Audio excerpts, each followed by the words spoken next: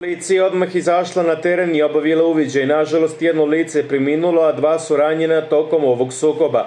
Poznati pevač Amar Ismani, 29, ubijen je sinoć, dve osobe su povređene u obračunu koji se dogodio posle masovne tuče na plastičarskoj u Skoplju. Incident je započet svađom, onda je došlo do fizičkog obračuna. Tokom sukoba neko je upotrebio vatrno oružje i tri osobe su hitno hospitalizovane.